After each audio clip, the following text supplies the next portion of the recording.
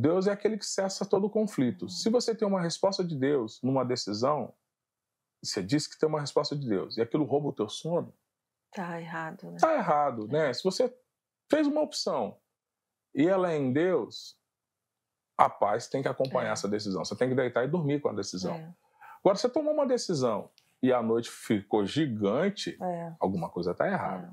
Né? Então, sim, toda decisão para você ouvir Deus. E Deus vai falar conosco através dos nossos sentidos. Você vai ter percepção visual, você vai ter percepções auditivas, né? você vai sentir. que tudo fala. né? tudo Você vai se- sentir no seu corpo físico, você vai ter resposta, o seu corpo vai responder, ele vai trabalhar nos seus sentidos, né?